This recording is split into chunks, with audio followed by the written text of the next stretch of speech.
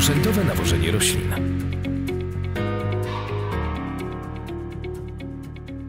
Nawożenie rzędowe roślin, zwane także nawożeniem zlokalizowanym, może być stosowane w uprawie rzepaku, kukurydzy, buraków cukrowych i ziemniaków.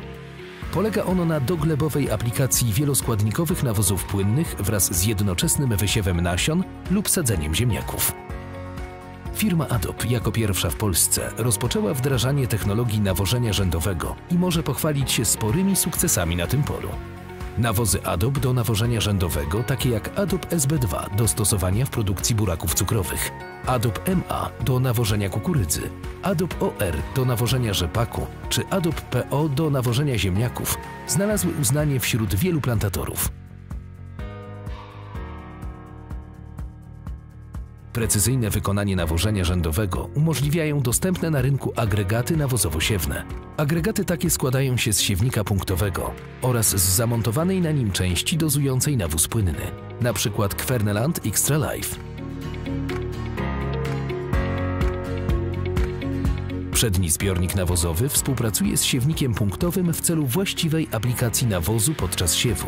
Urządzenia elektroniczne siewnika oraz przedniego zbiornika komunikują się ze sobą i współpracują, umożliwiając włączanie lub wyłączanie siewu nasion i aplikacji nawozu indywidualnie dla każdej sekcji.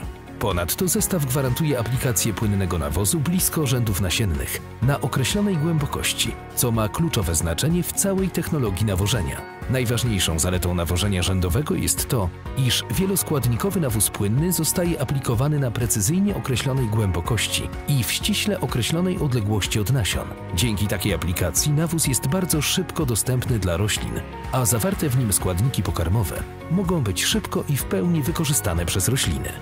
Taki sposób aplikacji nawozu znacznie przyspiesza wschody i rozwój roślin oraz zwiększa ich obsadę. Finalnie dzięki nawożeniu rzędowemu uzyskujemy wyższe plony oraz plony o lepszych parametrach jakościowych i technologicznych, jak na przykład wyższa polaryzacja czy mniejsza zawartość melasotworów w buraku cukrowym.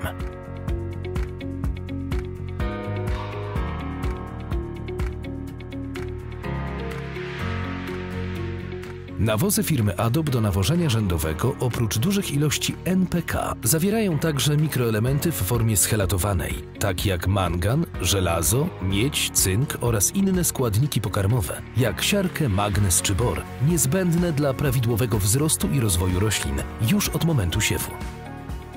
Stosując rzędowe nawożenie roślin, możemy ograniczyć tradycyjne nawożenie fosforowo-potasowe oraz wyeliminować całkowicie lub bardzo mocno zredukować tradycyjne nawożenie azotem. W efekcie końcowym uzyskujemy lepsze plony i zmniejszamy całkowitą ilość nawozów wysianych w ciągu roku. Korzyść dla rolnika, jak i naszego środowiska.